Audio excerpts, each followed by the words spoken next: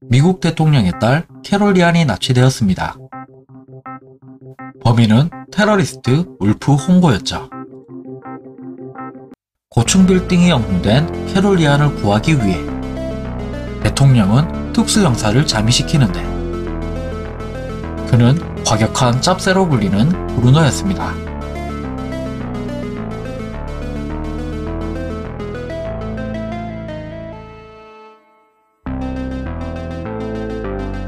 브루노 형사의 대활약으로 울프 원고는 쓰러졌고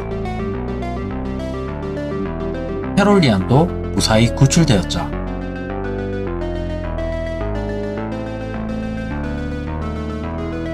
몇 년 후 캐롤리안이 탄 호화 여객선이 해적들의 습격을 받게 되는데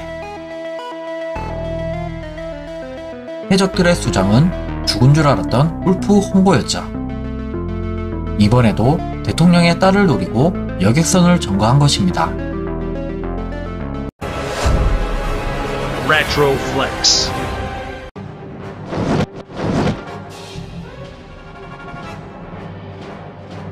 캐롤리아를 구하기 위해 브루노가 다시 투입되었고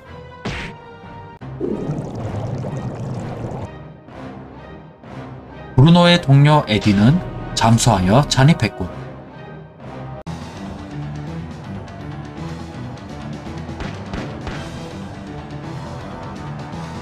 마크가 지휘하는 특수부대와 우크라이나 출신의 여자 특공대 진 아이비도 bomb. 캐롤리아는 해적들을 피해 도망 다니고 있었습니다.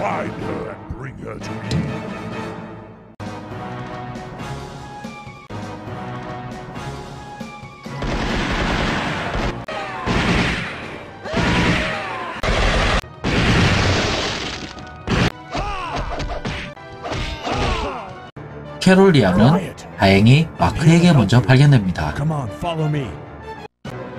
그러나 울프는 배에 설치해둔 폭탄들을 모두 터뜨리는데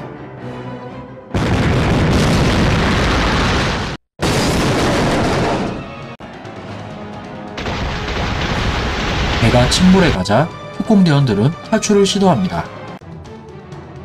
폭발의 여파로 크라켄이 배에 스며들었고 에디를 공격합니다.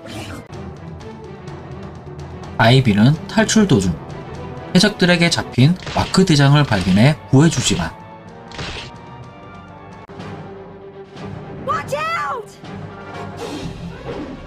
그는 마크 대장을 죽이고 변장한 해적이었죠.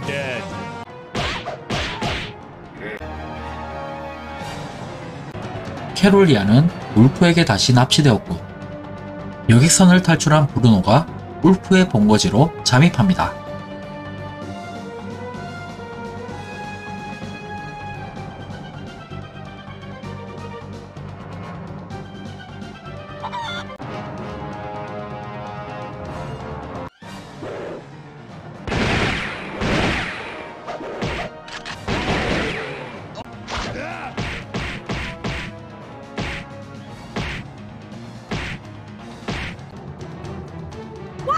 Out!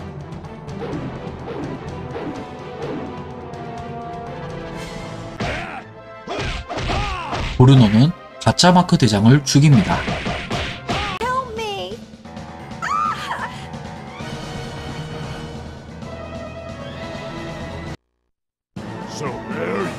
울프와 다시 만나게 된 브루노.